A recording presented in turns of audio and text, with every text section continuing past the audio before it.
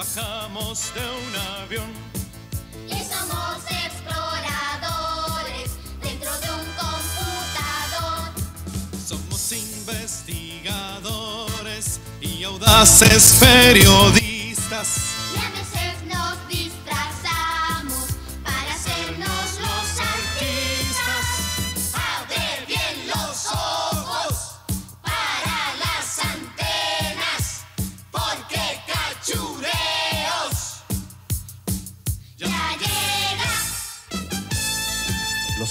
Electrónicos son de Atari. Damas y caballeros, lo que tengo aquí en mis manos es el elixir de la fuerza eterna. ¿Cómo que no? Yo sé que es difícil de creerlo, pero ustedes ya verán. Entra, gordo. Bebe un poco. Y ahora sus músculos se convertirán en metal.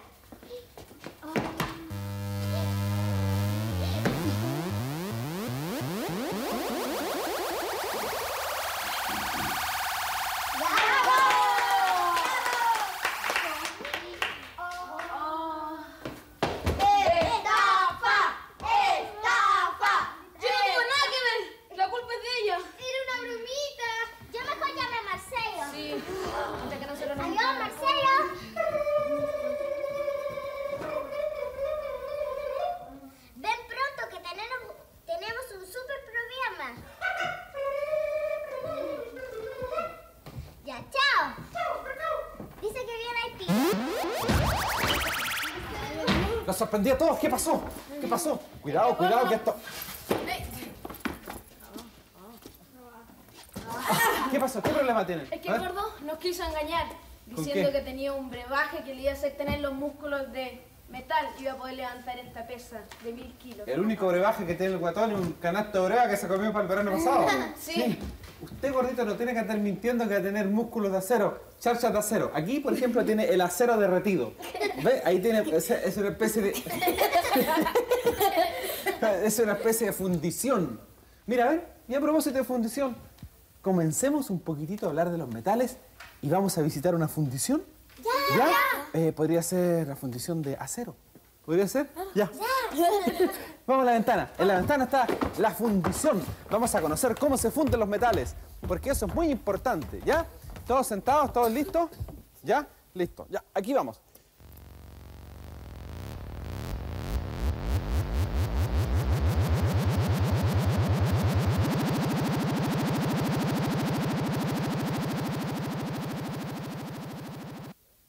Ustedes se preguntarán, niños, ¿para qué puede servir toda esta chatarra vieja?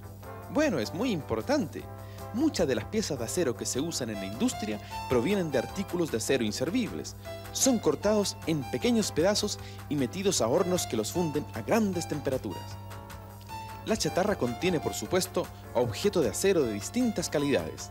En la fundición se preocupan de añadirle cuando está en estado líquido los elementos necesarios para fabricar una pieza con la ley exacta, con lo que se necesita.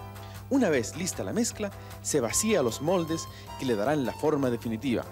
Ojo, que todo el proceso debe ser hecho con mucho cuidado. Por eso los operarios tienen que usar cascos y otras protecciones. Cada molde está hecho de una mezcla consistente a base de arena y otros productos dentro del cual se deja enfriar el acero. Con un palo se golpea el molde hasta hacer saltar la mezcla de arena. Dentro se encuentra la pieza de acero casi casi lista para ser usada, pero todavía le faltan algunos detalles antes de que pueda salir de la fábrica.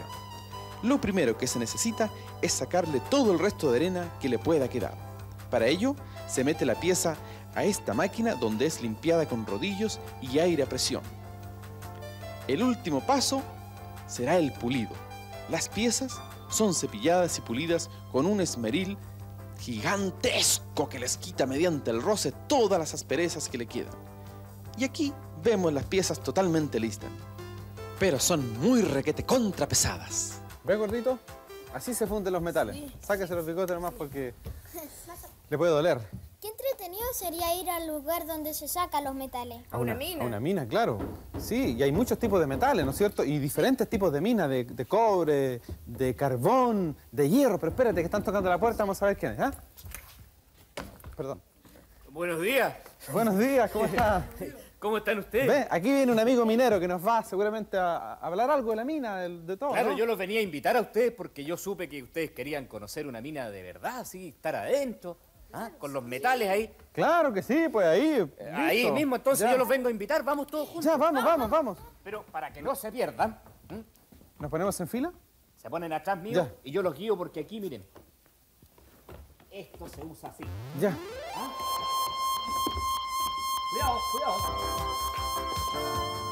Muy cerca de Santiago, a solo una hora y media de viaje por la cordillera, se encuentra una de las minas de cobre más importantes del país, la mina disputada de las Condes. En este montón de tierra está el cobre, pero se necesita mucho trabajo para sacarlo. Lo primero es remover la tierra y se logra colocando dinamita en estos hoyos. La tierra ya suelta se carga en camiones que la transportan hasta el lugar donde empezará a ser procesada. La mina, que como se observa se explota a tajo abierto, se ubica a 3.700 metros de altura, por lo que trabajar allí no resulta nada de fácil, amiguito. El fin del primer recorrido es un pozo profundo donde se deja caer todo el material extraído. Luego empieza a viajar este material por túneles hasta llegar a este edificio. La roca todavía en bruto es transportada en estas correas sin fin a bastante velocidad. La próxima parada son estos molinos donde el material se muele para que quede más chiquitito. Todo el proceso es vigilado cuidadosamente por un técnico que se apoya en un complicado computador. Cuando los molinos han hecho su trabajo, el polvillo se deposita en este tranque y se le agrega elementos químicos que separan el cobre de los desechos minerales. Se produce así un concentrado de cobre que es almacenado mientras se decide si será enviado a la fundición o se exportará.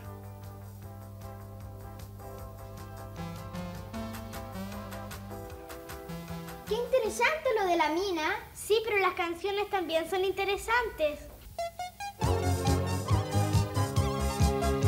Es negro, requete negro, pero no hay nada mejor para mover el motor que las brasas del carbón. Y el cobre es tan valioso, se hacen mil cosas con él. Pero es muy importante que lo puedas conocer. Y el fierro muy reduro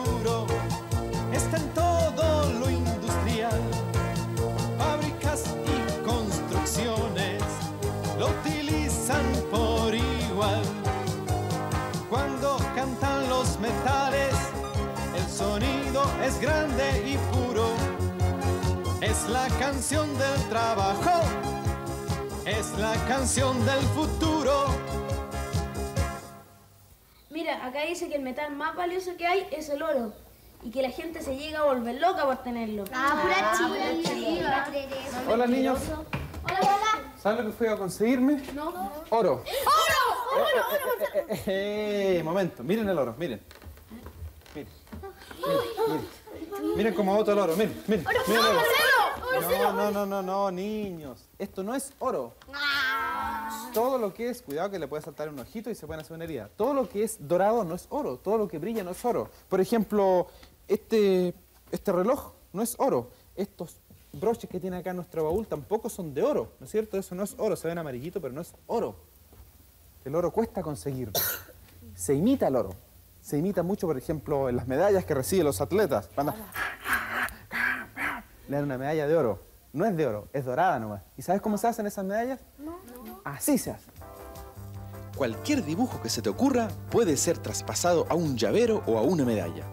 Cuando la idea está lista en el papel, se le saca una foto.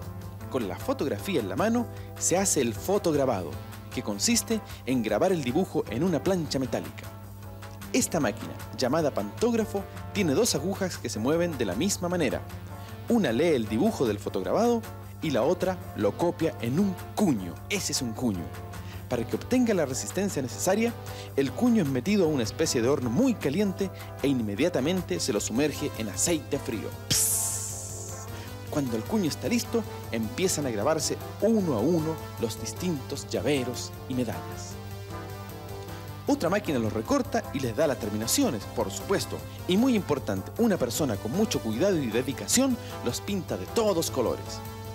Para que la pintura no se salga, se la cuece con soplete sobre una malla. Cada llavero es pulido prolijamente a fin de que queden súper suavecitos. Por último, se les da un baño de ácido que les da la firmeza definitiva. Aquí los tenemos de todas clases y para todos los gustos. Claro que sí, ¿ves? También se fabrican copas. Sí, esos trofeos que generalmente ganan los atletas después de lograr algún récord de marcas. Ya lo sabes, si tienes una buena idea, grábala. ¿Ves qué lindo? ¡Ay! ¿Vieron cómo se hacían las medallas de oro de los atletas? Sí, Claro. pero lo del oro era pura chiva. Ah, sí, por supuesto. ¡Extra, extra, extra! ¡Extra! Aparece la canción de los metales que cantan. Hay que verla, hay que verla. ¡Extra, extra, extra! ¡Cómprelo de última hora! oh, ¡Cómprela, cómprela! ¡Extra, extra! ¡Eh!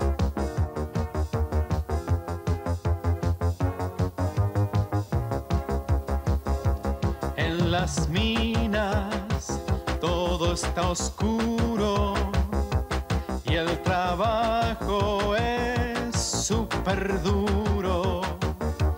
Sin parar, noche y día, así produce la mina. Van y vienen los camiones, su esfuerzo está pintado en su rostro todo negro. De la entraña de la tierra, estos hombres valerosos son campeones del futuro, pues trabajan sin reposo. El país le da las gracias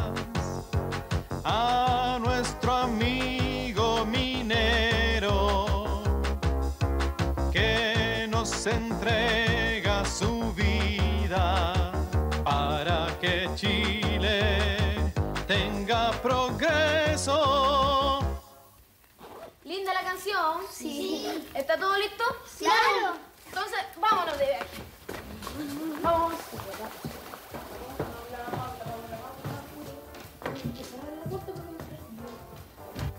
Vamos a ver dónde vamos de viaje hoy día. Ahí viene subiendo la cuesta el viejo cacharro de cachureos. Con todos los locos adentro, claro que sí. ¿Y qué cosa irán a encontrar?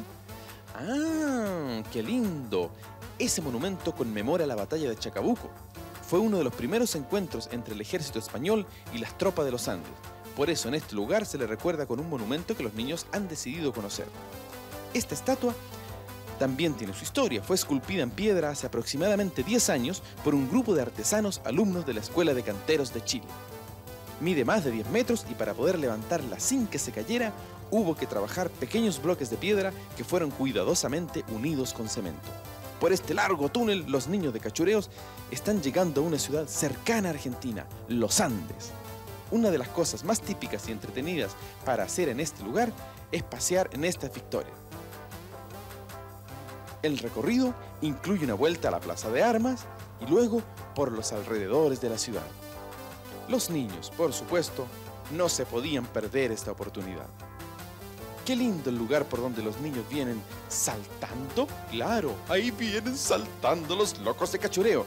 Tienen buen gusto para elegir paisajes bonitos, ¿ah? Y ahora vamos a ver dónde irán a llegar. Ah, a este balneario con muchas cosas divertidas que se pueden hacer. ¿Cuáles, por ejemplo? Bañarse en la piscina, jugar ping-pong como lo hacen Bárbara y el Gordo, o firmar autógrafos como lo hace nuestra conocida estrella Trencitas que es un poco choca.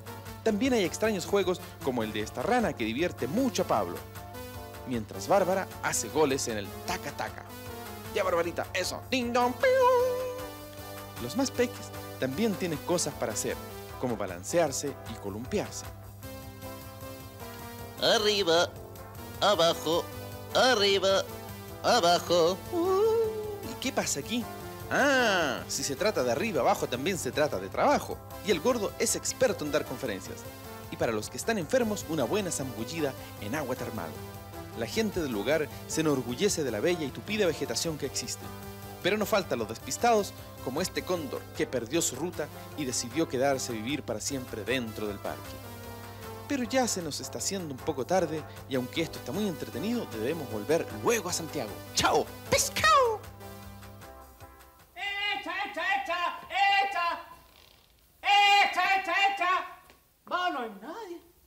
Seguramente se ven herido a los comerciales. Yo también me voy para allá.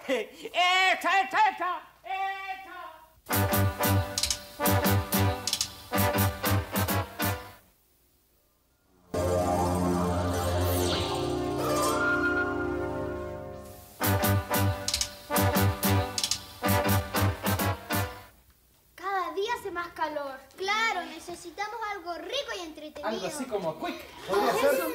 Claro, porque Quick es más rico y entretenido. Es súper, súper rico. Es muy rico. Siempre que tomamos Quick, aparece. ¿Quién aparece? ¿Quién es nuestro amigo? El profesor. Mírenlo, ahí está con sus locuras nuevamente el profesor Chifladescu. Vayan a verlo. ¿A mí me está hablando usted? ¡Ay, qué bueno! Déjame aquí sintonizar un poco eso. Bueno, vamos a ver, ¿qué cosa te pregunté yo? ¿Oro no es? La semana pasada, ¿oro no es? ¿Plata no es? ¿Qué es lo que- oro no es, plata no es. A propósito de oro, hace un tiempo atrás un hombre con tremenda suerte se encontró una pepa de oro ahí, eh, por allá por el sur, parece, 6 kilos de oro. Pero oro no es, plata no es. Porque yo tengo tan mala suerte que no me encontré el oro, me encontré el plátano. Claro, oro no es, plata no es. Plata no es. Eso es plátano, ¿me entiende? Porque yo no me entendí mucho, pero es plátano, la respuesta a la adivinanza anterior. Y ahora tengo una respuesta. Alto vive, alto mora. Deje que deje la tejedora. Alto vive, alto mora. Mora, eh, mora así como la fruta, la mora. Eh, Se escribe igual, pero yo no puedo decir mora porque yo perdí mi, yo mi chifladesco y ya no sería chifladesco. Sería, podría ser argentinesco, nada que ver, ¿me entiende? Alto vive, alto mora, teje que teje la tejedora. El próximo día te doy la respuesta. Vamos a ver. Voy a seguir trabajando aquí porque tengo ciertas cosas importantes. Mira lo que tengo. ¿Qué es? Un pedazo de fierro y de acero. Ah, este es el acero, claro. Este es una mezcla de hierro y carbón. Es más duro que el acero, dicen. Más duro que el acero. Ya, y este, ah, este es fierro. Este se ocupa en la construcción. ¿De dónde lo sacaste? A ver, ¿quién será? Oiga, vos, a ver, pidan el material. Este cabrón siempre lo que andaba por ahí por la construcción.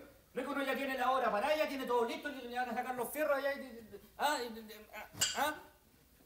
Me voy mejor. Déjenme trabajar tranquilo. Mejor escuchemos una canción.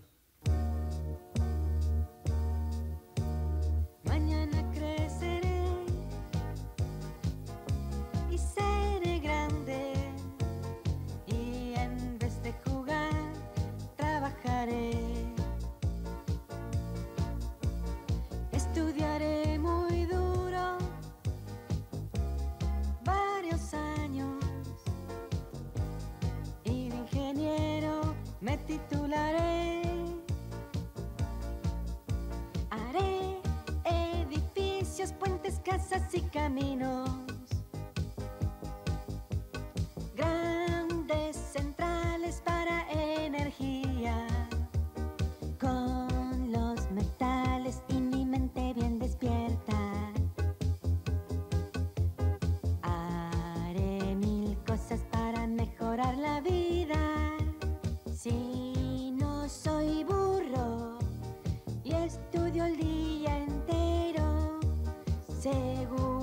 que un día seré un ingeniero. ¿Ven? Mis aros también son de metal. Mm, qué lindo, ¿eh? difícil debe ser trabajar los metales en cosas tan chiquititas. Claro, y sobre todo trabajar el oro. Porque, por ejemplo, se pueden hacer joyas y joyas, pero chiquititas, chiquititas. Y cuesta mucho hacerlo, claro. Eso lo hacen los joyeros. ¿Tú, Marcelo, conoces alguno para ir a visitarlo? Bueno, yo, claro, conozco varios. Por ejemplo, hay uno que queda por aquí, por la... dere- El despertador, ¿lo conoce?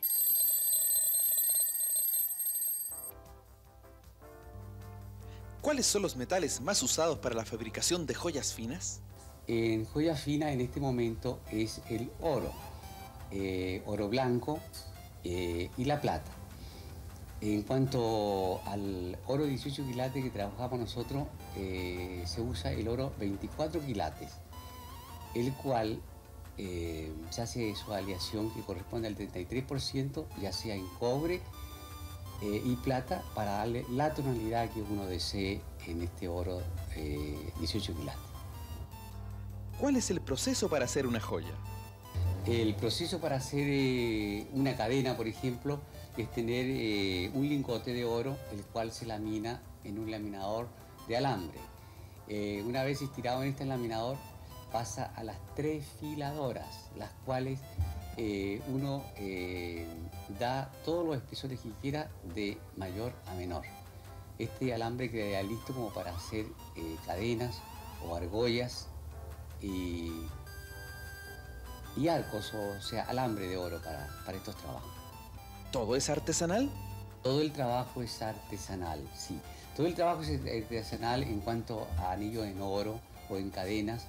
Eh, todo eso a mano, todas las soldaduras son directamente por el joyero. Eh, en un proceso, por ejemplo, de un anillo, eh, una vez que está laminada la chapa, se trabaja a sierras muy finas, se da la forma de la piedra que va a llevar. Una vez terminado este anillo, eh, se pule con eh, bufles, con pastas especialmente para pulir oro, y el cual después, para su terminación de, de joyería ya en su última etapa, pasa al encastador, el cual coloca una piedra ahí eh, encastando con sus mismas grifas que tiene el anillo, y queda listo para la venta. ¿Vieron? Ese joyero hizo mis aritos. Sí, pero podría ser joyero en chunchules, porque el gordo se quedó sin energía. Sí, hay que ayudarlo, hay que darle un golpe de sabor. Un golpe de Eso. sabor. Eso es. Señor Punch, ahí llegó el golpe de sabor gordito. Por favor, rápidamente, urgente un punch para el gordito.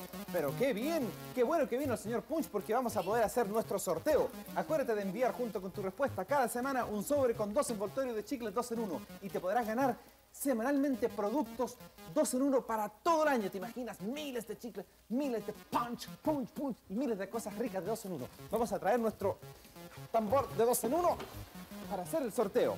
Y vamos a saber inmediatamente quién es el ganador de esta semana, quién nos ha enviado su sobre con los envoltorios de chicles 2 en 1 para ganar productos para todo un año. Señor Punch, tenga la bondad y usted mismo, si es tan amable, saque una carta. Revuélvalas bien, mete la manito bien abajo, cierra los ojos. ¿Ya? Muy bien. A ver, a ver, a ver, ¿cuál saco? Esta grandota, esta grandota. El que se lleva los productos 2 en 1 para todo un año es. Primero vamos a ver si tiene, sí, ahí están. Es José Plaza, San Fernando. Y para que tú veas que efectivamente aquí están los envoltorios de chicles, te los vamos a mostrar. ¿Ves? Ahí está. Chicles 2 en 1. Si todavía sus envoltorios tienen sabor.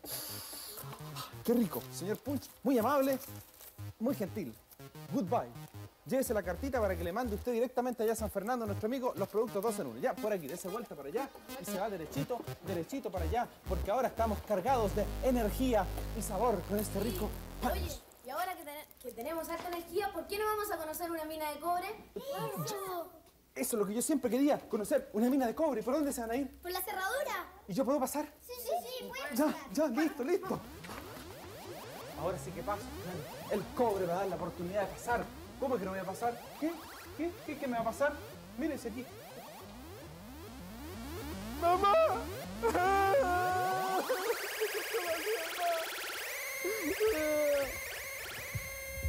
Chile es uno de los países que produce la mayor cantidad de cobre en el mundo.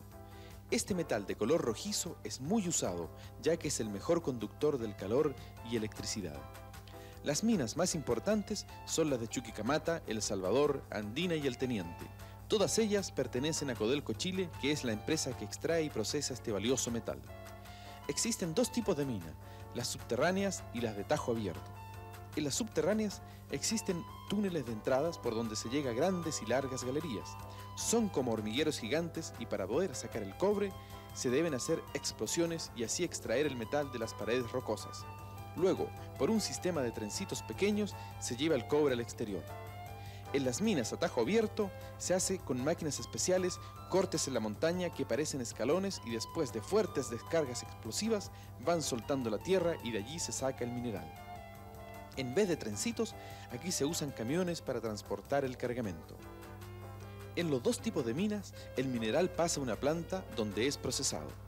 Cada una de las minas de Codelco cumple distintas funciones. Por ejemplo, Chuquicamata se especializa en producir concentrado de cobre, metal doré. Entre otras, El Salvador, Andina y El Teniente se especializan en subproducto de este importante metal. Una de las características más interesantes del cobre es que puede ser almacenado durante mucho tiempo sin problemas de echarse a perder.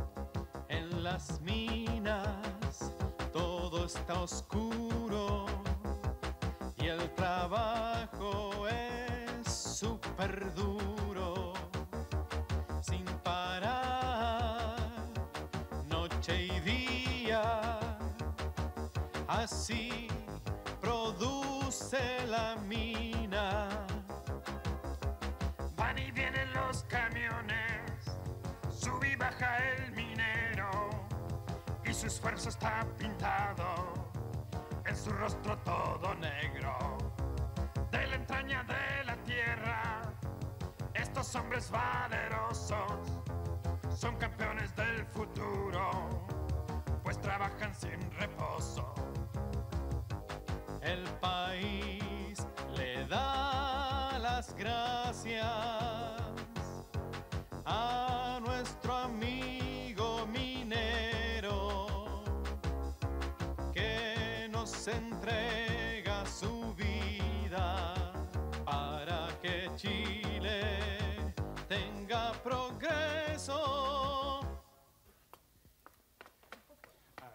guagua, canción. Linda, gustó guagua canción. Sí, gordo, ¿se podría saber qué estás haciendo? Estoy haciendo ejercicio porque el bicicross está por empezar. El bicicross, está por empezar el bicicross, niños. Rápidamente, vamos al bicicross. Claro que sí, al bicicross. los ojos para las antenas, porque el bicicross ya llega. Claro que sí, ya llega una nueva competencia de bicicross en SIC y cachureos, aquí en Cachureos y en la pista del Estoril. Ahí va la carrera. Y se da la largada en el bicicross de SIC y Cachureos. Ahí van los niños en la pista del Estoril, saltan la primera pequeña ola, están doblando la curva frente a Miled, siguen pedaleando firme, firme, firme. La verdad es que no se alcanza a divisar el nombre, el título, mejor dicho, el número del ganador, el que va adelante. Y vamos a doblando la otra curva frente al Peralte nuevamente. Y podemos ver tranquilamente que hay un competidor de casco rojo que parece que lo va a adelantar, pero esta carrera es bastante lenta, no tienen la fuerza que tienen otras competencias en cachureos. El número 324 me da la impresión, va a cruzar la meta, se acerca rápidamente, un gran salto y el número 324 es el ganador. Y ahora vamos a la entrega de premio. Primer, segundo y tercer lugar con SIC y los trofeos de Miled en tu cachureos. Y ahora vamos a ver un salto, bueno. A nuestro amigo le dicen el científico y hoy día nos va a hacer un salto con un nombre muy especial, Footloose. ¿Eso vas a hacer? Sí. ¿Y cuál es tu nombre? Jorge Molina. Adelante, Jorge, alias el científico.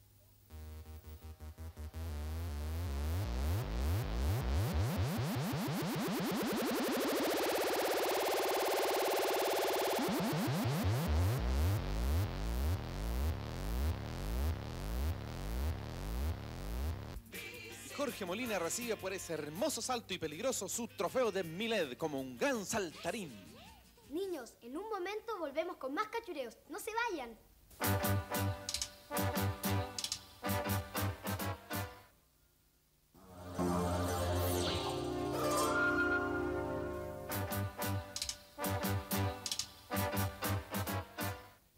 Llegaron las manos mágicas de Cachureando con el super yogur Danón. Sí, a mí me encantan. ¡Ay! Ahí están las manitos mágicas de Cachureando. Un momento. Hoy día tenemos que hablar de los metales, mi querido amigo. Y veo que tiene puras cajas de fósforo. Ah, ah, ah. Momento, me dice. Ah, ¿usted cree que un metal puede volar? Yo creo que no. ¿Pero cómo que no? Ah, no lo va a hacer en metal usted hoy día. Junto a unas cajitas de fósforo y es un avión volador. Pero por supuesto, tiene que ser un avión volador. Incluso hasta los aviones que hay en los parques de diversiones son de metal. De metal para proteger a sus pasajeros, igual que los aviones de verdad. Realmente el metal es tan importante para poder volar. Hasta el Columbia tiene piezas de metal, claro que sí. Pero volvamos a nuestro amigo de las manitos mágicas. Él le pone ahí las turbinas, que también son de metal. Lo toma del fuselaje, que también es de metal. Y dice, adiós, me voy a volar con el metal. Claro, ahí se pintó de color azul y rojo el metal. Y ya tienes un lindo avión para volar. Adiós, manitos mágicas.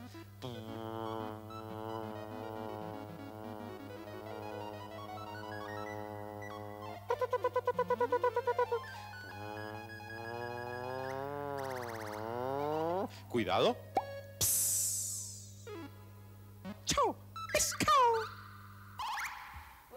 Después del cachureando, tengo que decirles que en este libro dice que una vez en Estados Unidos, hace muchos años, por culpa del oro, muchos hombres partieron hacia California en busca del oro. ¿Del loro? Del oro. Ah, oro. Oro, ah. Gold. Ah. Ya. Y fue tanto, tanto lo que buscaron y lo que lucharon por él, que ese tiempo se llamó la fiebre del oro. Claro, no se llama la fiebre del plomo, ¿no es cierto? Están buscando oro. Claro, lógicamente. Y ahí existía ese maldito Johnny. ¿Quién será? Esos Johnny, esos vaqueros que habían ahí. ¿Qué será aquí? Ah, me ensuciaste los buzos, te Hello. pasaste, te Hello. pasaste. sí, yo siempre pasarme. Porque ahora vengo, fíjense ustedes, a contarles la historia de la fiebre del oro. A ver, ¿y cómo fue eso? A ver. Sepan ustedes que hace mucho tiempo mi abuelo estaba dándole de beber a su caballo en la orilla del río, cuando de repente miró el río y dijo, ¡Oh! ¡Oro!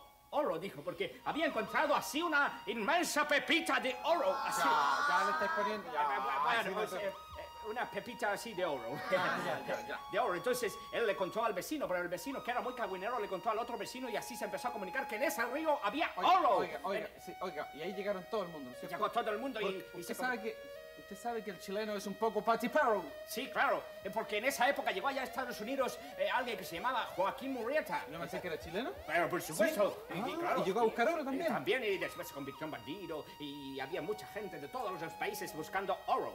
Este tipo es mentiroso, yo no le creo nada. Un momento, Usted un es momento. mentiroso, señor. A mí nadie nunca me ha tratado de mentiroso. ¿Ah, no? El último que lo hizo ya no Dispara. está vivo. Sí, No, ya no, no, está cuidado, vivo para no, por favor, no. Ya no está vivo, ya para... ¿Con eso me va a matar? Eh, eh, eh.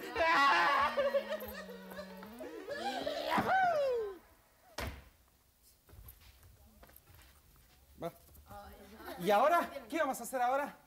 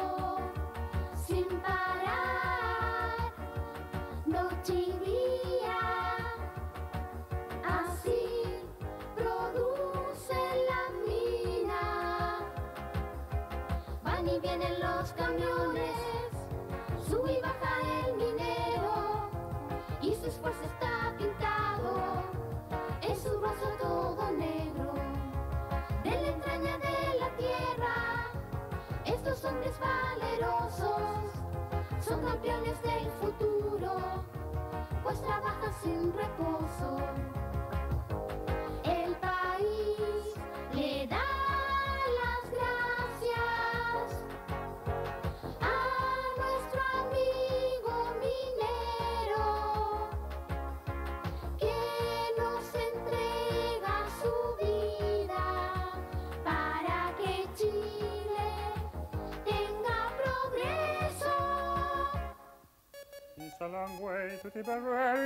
Linda canción, cantaron niños, pero realmente extraordinario. Como es extraordinario también lo que tiene Icarito ahora. ¿Saben lo que trae Icarito? Que sale todos los miércoles de forma totalmente gratuita en el diario La Tercera. ese Icarito, si tú no alcanzaste, Barbarita, o tú, Pablito, o tú, Trencita Yoka, no alcanzó a adquirir su diario tercera que traía ese Icarito gratis, ahora usted tiene un display, un display que vienen nueve juntos, ¿ah? Display, vienen nueve juntos, así que usted los puede adquirir cuando quiera. Ahora vamos a llamar para saber qué trae Icarito este miércoles. Eh, ¿Aló? ¿La tercera? ¡Eh, bandido! Nuevamente frente a frente. ¿Pero qué? No me vaya a disparar, mire que estoy... Oiga, que tengo que llamar Icarito. Esta vez te ha salvado el Icarito, pero ya nos encontraremos, bandido. Este gallo es loco, ¿ah? Sí. ¿Aló? No vaya a llegar de nuevo, mire, gordito, no vaya a venir alguien por ahí. ¿Aló, Icarito?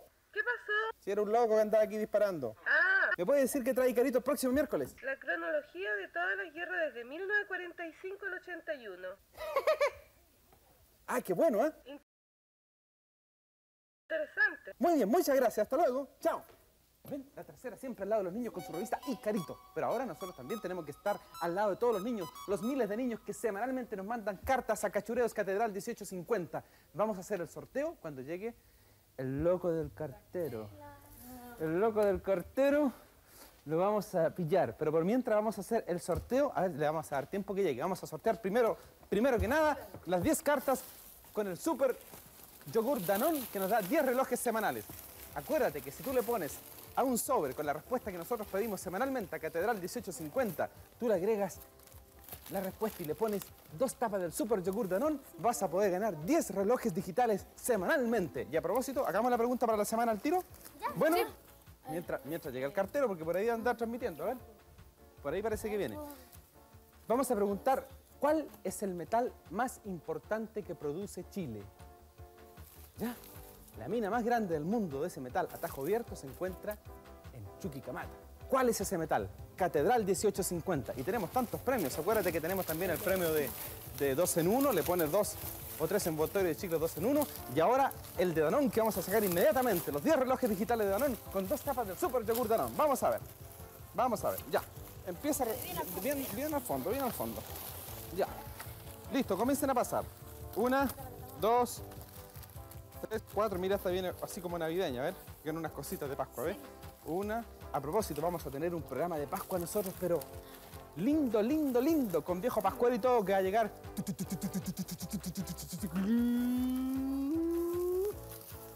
Noche de paz, noche de amor, con el super yogur Danone. Uno, dos, tres, cuatro, cinco, seis, siete, ocho, nueve y diez. Vamos a ver esta grandota. ¿Quiénes se ganan yogur Danone? Primero que nada, Alexis Cristian San Fernando. Ahí está, una. Enseguida, Álvaro Sandoval Temuco con un super yogur que él se tomó, se ganó un super reloj. Luis Ugalde, Potrerillos. Enseguida tenemos este otro que se llama Shirley Salinas, Arica. Y por acá, por acá, Marcela Morales, Potrerillos también. Mira qué bien, qué suerte para Potrerillos. Yo estuve en Potrerillos y que en Potrerillos. Eduardito y Juanito Colomera, Temuco, ¡hey! ¡Aguaite! Para el sur ese fue. Aquí tenemos a Felipe Alejandro Cabrera también para Temuco, ¡hey! hey! Y enseguida nos vamos con otro reloj Danón a María Fernanda Concha de Maipú. María Fernanda Concha de Maipú. Este otro, Jimena Valenzuela, Carlos Acharán, es de Panguipulli, Aguaite. Y aquí tenemos a Ariel Rebolledo de Santiago. Todos estos niños se ganan los relojes Danón. Y ahora, vamos. ¡Ay, cartel! ¿Qué le pasó? Disparando por allá afuera. Sí. Ah, por eso está- usted estaba oculto. Sí, sí, Ah. yo lo estaba arrancando porque... Bueno, pero vaya a buscarlos. A ver. ¡Fuera! ¡Let's go! ¡Let's go! Entonces ahora podemos hacer el concurso. Claro, vamos a hacer el concurso con estas cartas que nos llegaron esta semanita. Unas poquitas cartas que nos han llegado. Semanalmente llegan miles de cartas a Cachureos. Tu programa de televisión infantil. Cachureos con los mejores premios. Con las más lindas cartas. Aquí está siempre Cachureos presente en los niños de Chile. Vamos a ver primero. Eh, no, ah, otro más, señor. ¡Con cuidado! ¡Ah! ¡Ah!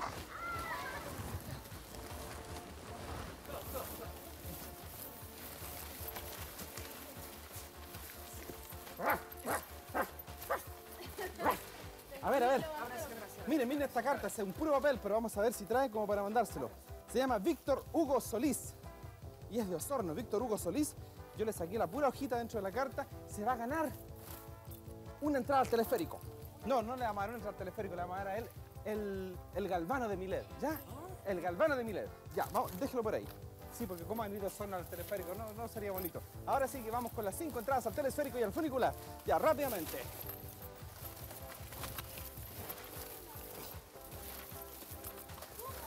Ya. Una, una, dos, tres, cuatro y cinco. Aquí están todas. Ganadores de entradas al telesférico y al funicular. Lisette Saldías, Talcahuano.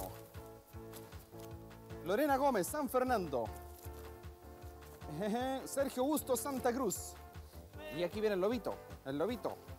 Lobito, lobito. Roberto Mercado, Ñuñoa, Santiago.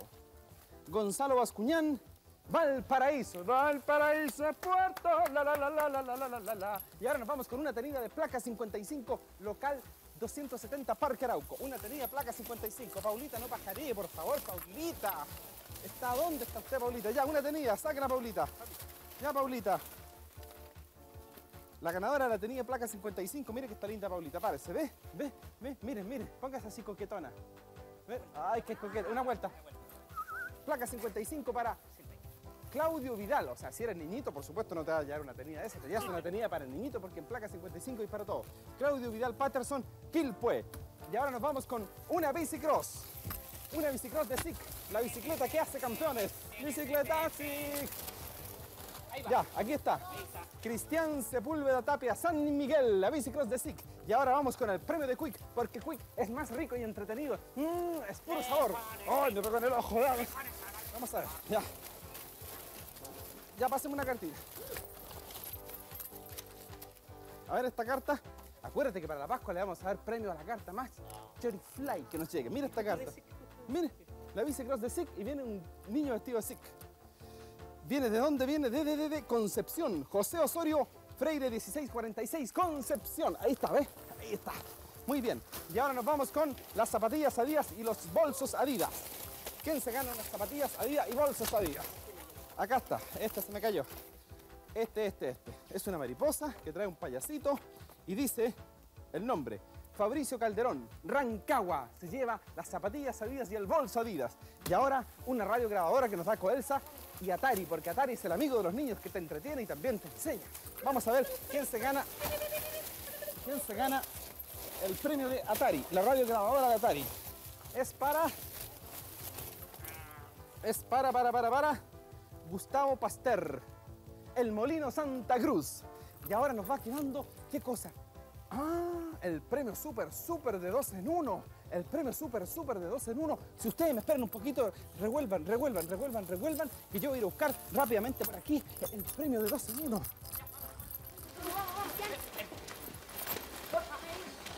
Por aquí vengo, por aquí vengo. Por aquí vengo, por aquí vengo. El premio de dos en uno. Un equipo modular que regala una vez al mes dos en uno. Recuerda bien, que no se caigan abajo. Todas estas cartitas vienen con los dos envoltorios de chicles, dos en uno. Ya, pásenme una. Esta chiquitita. Carolina González, Viña del Mar, se lleva el premio dos en uno. Y eso yo creo que sería todo por hoy, no nos queda nada. Ah, claro que como que no. Nos quedan los regalos de Icarito, los display de Icarito, sincro display de Icarito. Una, dos, tres, cuatro y cinco. Cinco display de Icarito. Los ganadores son eh, Ruth Cárdenas Osorno. Ruth Cárdenas Osorno. Este, Roberto Flores Osorno también. Joana Palacios La Cisterna. Ujú, Anabela Aguilera Talca. Y la última, la última niña que se lleva los displays de Icarito son, es Gloria Lorena. Gloria Lorena Álvarez de Osorno. ¡Hey, aguaite! Y así mirando todos allá, a donde están nuestros amigos de cachureos, les decimos ¡Chao! ¡Pescado! Los niños y Marcelo agradecemos al programa en el día de hoy a los señores Sombrero donde golpea el monito, a Pastelería Lorena, a la Casa Útil. Momentito, señorita. A Fuegos Artificiales Arco Iris, MSA de Chile. Bueno, bueno, bueno. Avícola Ruiz. ¿Está contenta? ¡Claro! Zodiac Aceros, Artesanía Goñita, Mina Disputada Las Condes, Codelco Chile, Fundición Betoni, Joyería Lavín y a Insignias Milet.